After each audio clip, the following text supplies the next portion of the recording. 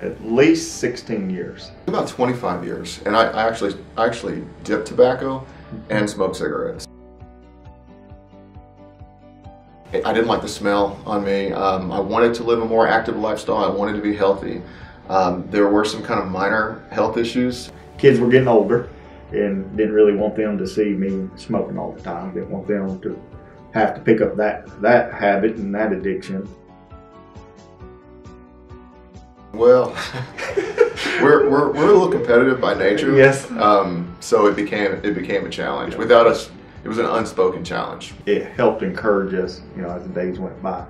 Quitting something, if I substitute something else for it, there's a better transition. So what I did was um, I, I basically decided to go race. I, I rode mountain bikes and I decided to sign up for a race down the road so it would keep me honest, so to speak.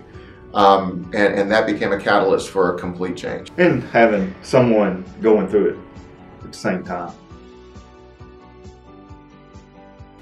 You know, you hear people say take it one day at a time. However, it's you're smoking, you're if you smoke as much as I did, a pack and a half a day, about every 20 minutes, every 30 minutes of a day.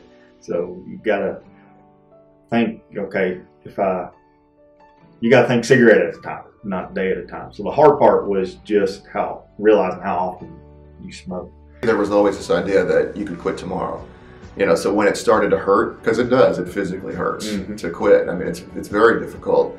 Um, you know, or something's going to happen that's going to create a little stress. So you want to go get that cigarette and say, "I'll go ahead and quit tomorrow." That's why I say I quit thousands of times because I Mhm. did.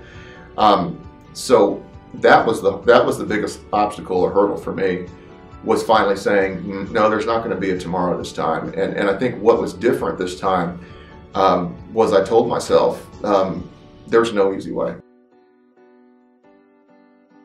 If you use an aid to help you, whether it be hypnosis or some kind of medication or nicotine gum or whatever patch, Mhm. um, it will mitigate the loss. But if you think it's going to be easy that way and that's the way you're looking at it, there's probably a pretty pretty good chance it's not going to work for you. If you're ready for the war uh, and you know where you want to end up, you, you got a much better chance of getting there. If you go backwards, don't beat yourself up. Just keep looking to where you want to be. If you're looking to the future and you're wondering what the future you would look like without tobacco, uh, trust me, you, you would really appreciate the fact that you made it through that journey and came out the other side. It's tough, but it's definitely worth it.